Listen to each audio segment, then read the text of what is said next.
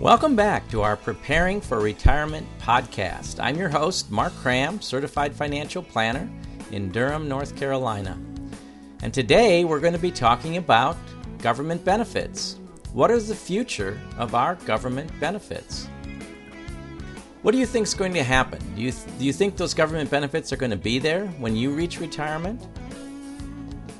What do you think about the government benefits looking like? Do you think they're going to look the same and provide the same benefit structure as they do today for people in retirement when you get there? And do you think the cost might be higher by the time you get to retirement for these same government benefits? Well, let's take a look at three programs that we know are going to be affected by the baby boom generation into the future. Let's look at Medicare. According to Thomas Saving, who was a trustee for Medicare and was talking to Congress in 2004, uh, Mr. Sayer noted that at the time, Medicare was consuming 10.7% of all taxes that were coming into the federal government.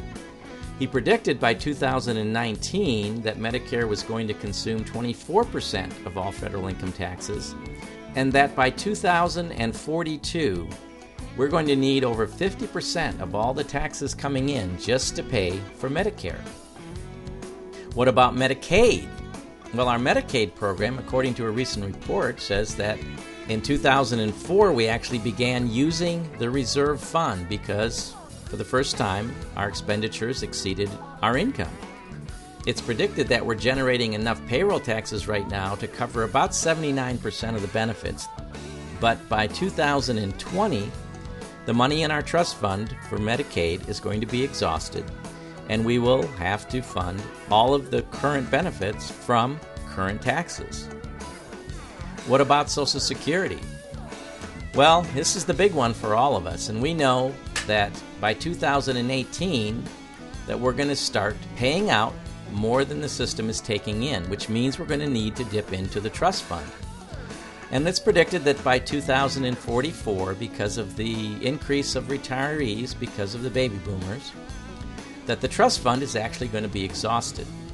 Now, if you know anything about Social Security Trust Fund, you know that there are no dollars in the trust fund. There are IOUs left in there by Congress because Congress uses excess Social Security contributions each year to fund the general fund. So we know that as soon as we need to start accessing the, those trust funds, we're going to need to be raising taxes in order to provide those dollars for that trust fund. So, what does that mean for all of us? Well, it means that benefits are probably going to need to go down and or we're going to need to wait longer for those same benefits that we would have got today. And of course that means that our taxes are going to need to go up to pay for these benefits if they are to look anything like they are today. So, if you're going to be preparing for your retirement and you're going to be thinking about our government benefits, you're definitely going to need a larger nest egg than maybe one that you're planned for today. You're also going to need more income from that nest egg, and you're going to need that money to be safe. You're not going to be able to afford to lose any of those dollars as you start to prepare for retirement, which means you're going to need more predictable returns and maybe safer investments. If you want to find out more about how you can start preparing for your retirement, please go to www.equitymaximization.com.